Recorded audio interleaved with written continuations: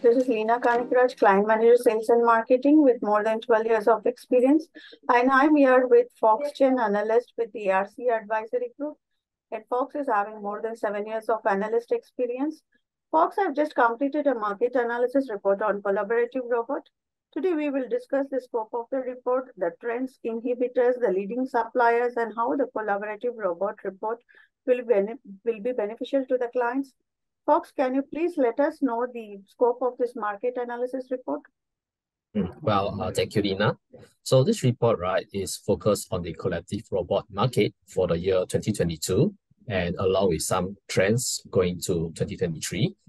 And other than the studies on the market and the industrial segments, so the analysis is also segmented into three categories based on the cobot payload. So we have three of them. We have up to 5, 5 to 10, and 10 kg, more than 10 kg. Thanks, Fox, for briefing the scope. I would be happy to know more about the supplier landscape of this market. Well, the landscape has really been quite competitive.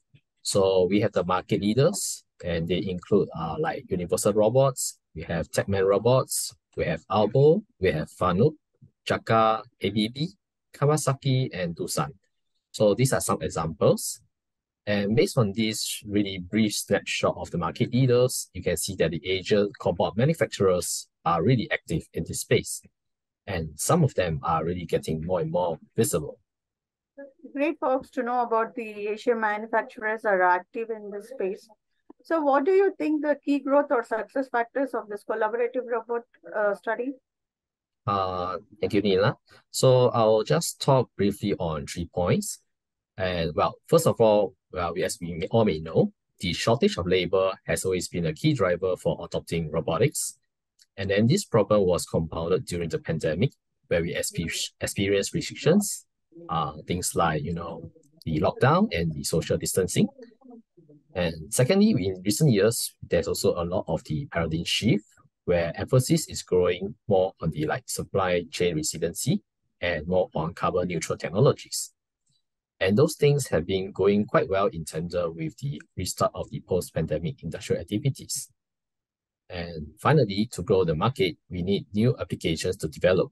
So what does this mean? This means that we need uh, innovation and co-innovation, and those are key to grow the cobot ecosystem and the market.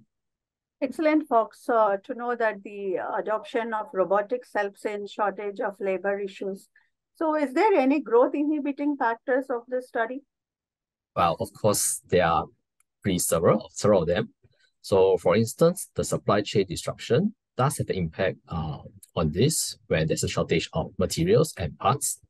So what does it do? It actually increases the difficulty in fulfilling production orders, and that results in the longer leading uh, results in longer leading time lead time. And of course, we have things more like uh, political uncertainty, inflation, and rising costs. And, you know, that kind of like cap some of the growth when businesses are more cautious. Thanks, Fox. Good to know that the supply chain disruption and uh, rising cost, uh, these are the two inhib- uh, factors which inhibits the growth factor. With the above feedback, what strategies would you recommend to a buyer of the system?